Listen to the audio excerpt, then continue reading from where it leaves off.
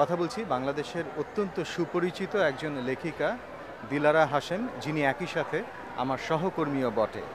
দিলারা হাসেম আজকে এই জাতীয় বই উৎসব ওয়াশিংটন ডিসিতে এখানে এসে আপনার কেমন লাগছে? আমার অত্যন্ত ভালো লাগছে, সেটা বলাই বাহুল্য। কেননা আমি একজন লেখক হিসেবে বই মেলার জন্য অপেক্ষা করে থাকি। নিউ ইয়র্কে ছুটে যাই বাংলাদেশ বই মেলার জন্য।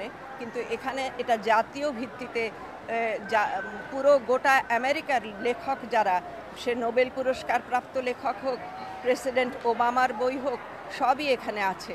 এবং সব রকম আলাদা আলাদাভাবে লাইব্রেরি অফ কংগ্রেস অত্যন্ত সুষ্ঠুভাবে গুছিয়ে রেখেছে, যাতে কিনা যারা আসছেন, দেখতে বা কিনতে, তাদের অত্যন্ত সুবিধা হয়, যেটা হয়তো বাংলাদেশে অতটা সম্ভব হয় না।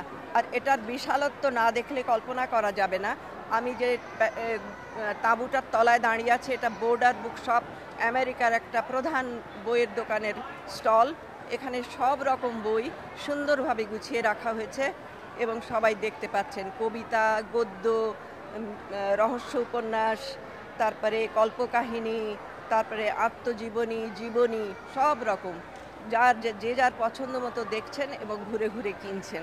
অনেক ধন্যবাদ আপনাকে আমাদের সময় দেওয়ার জন্য। ধন্যবাদ আসান।